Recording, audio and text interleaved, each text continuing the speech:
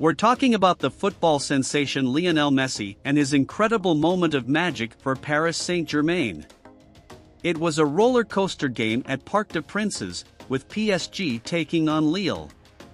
With the score locked at 3-3 in the dying moments of the game, the pressure was on PSG's head coach Christophe Galtier. But then, like a bolt from the blue, Messi produced a stunning free-kick winner to complete a dramatic turnaround for the French champions. Can you believe it? Messi's goal was nothing short of magical.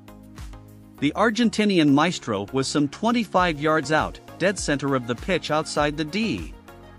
He lined up the free kick and somehow got enough power and dip on the effort to make it go through the wall and into the bottom corner past the helpless Lille goalkeeper Lucas Chevalier.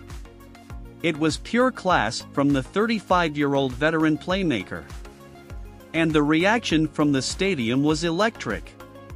The whole crowd started chanting Messi, Messi, Messi.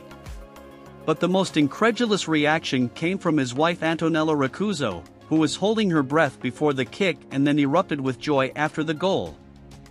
Witnessing these moments felt heartwarming, didn't it? And what a relief for PSG! After staring down the barrel of a fourth straight defeat just 10 minutes before, Messi's goal was crucial for the team's morale. It was a sigh of relief for Galtier and happiness for PSG's fans. Lionel Messi's moment of magic for Paris Saint-Germain. If you enjoyed this video, make sure to check out our other videos and let us know what you think in the comments below. Thanks for watching.